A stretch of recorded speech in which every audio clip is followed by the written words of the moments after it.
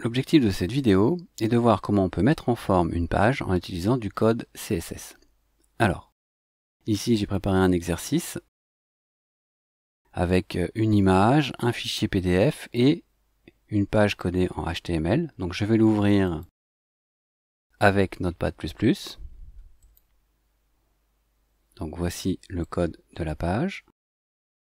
Et je vais l'ouvrir avec Firefox pour voir à quoi elle ressemble pour l'instant. Donc l'idée, c'est d'utiliser du code CSS pour mettre les titres, les paragraphes et les images en forme en stockant ce code dans la partie header de la page. On verra dans une prochaine vidéo qu'on peut carrément créer un fichier à part .css pour gérer la mise en forme de la page. Donc ici, je vais commencer par rajouter après ma balise title ici une balise style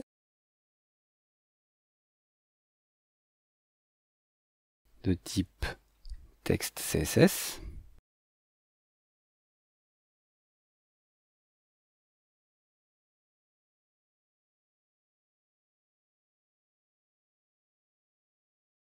Cette balise, je vais la fermer.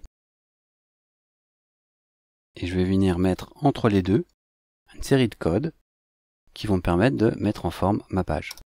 Alors de la même façon dans le précédent TP, Ici, je vais pouvoir enregistrer et de l'autre côté, actualiser pour voir au fur et à mesure si les changements que j'effectue dans le code sont bien appliqués à la page. Donc, c'est parti.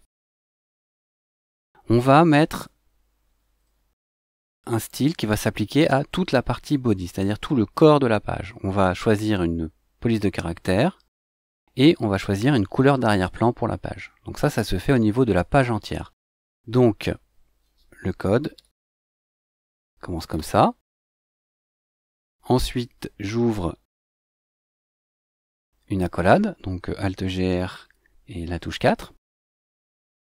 Ensuite, je vais appliquer une famille de police, donc font family, de points. Alors, j'en mets plusieurs, parce que si jamais une n'est pas installée sur l'ordinateur, eh bien, l'interpréteur, le, navigateur, donc dans mon cas Firefox, va aller chercher la seconde, et ainsi de suite. Donc normalement, si vous mettez une série assez grande, il y en aura forcément une installée sur l'ordinateur. Je mets un point virgule, je fais un deuxième attribut qui va être background, ça veut dire la couleur de fond de la page. Alors là, c'est la couleur de fond de la page parce que je suis dans la balise body, évidemment.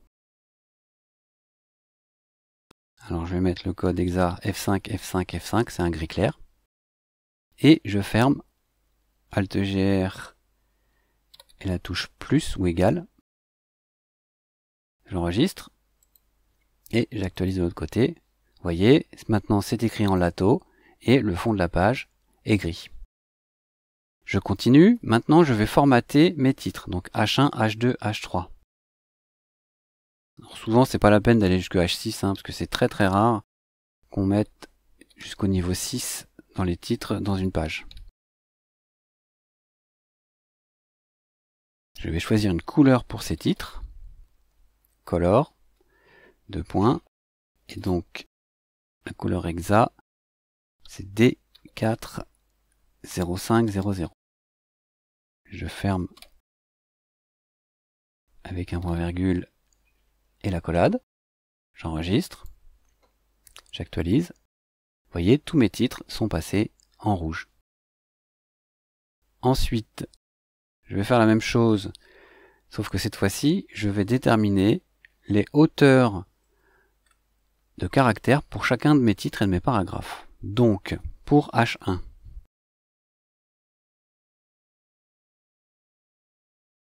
on va mettre une font size une hauteur de caractère de 26 pixels. Alors il existe d'autres unités que pixels, hein, on pourrait faire avec euh, d'autres unités.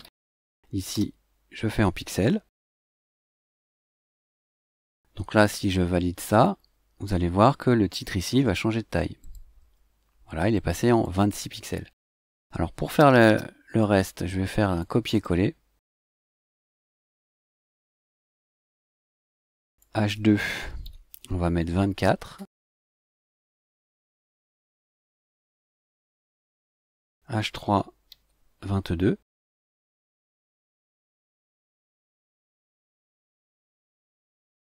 Et P, pour les paragraphes, on va les faire de 14 pixels de haut.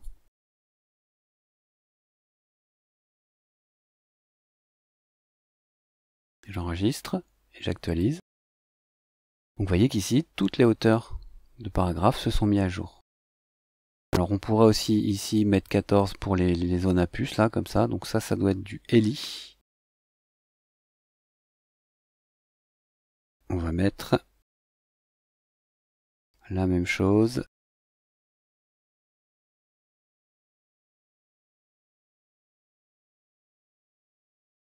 On va mettre 14 pixels aussi.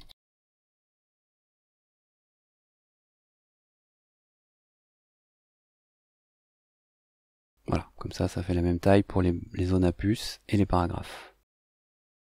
Ensuite, je vais paramétrer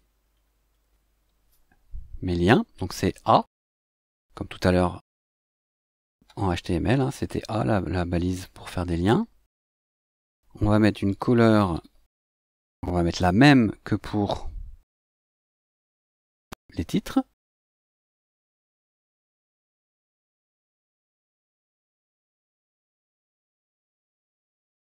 Et on va mettre une text decoration. C'est la décoration du texte. On va mettre none, ça veut dire que les liens ne seront pas soulignés.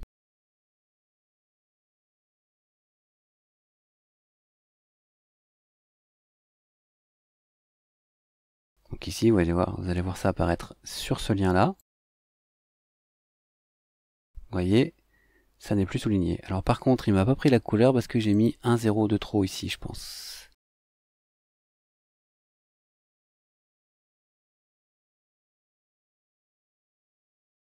Voilà, cette fois-ci c'est bon. Ensuite, on va changer la couleur du lien quand il est visité.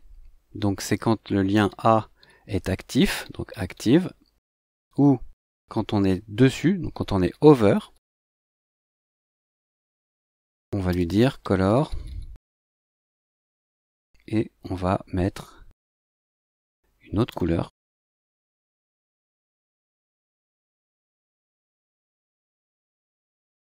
Ici, j'ai oublié un T. J'enregistre, je valide.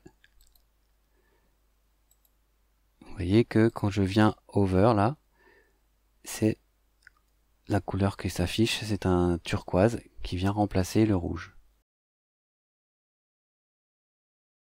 Et voilà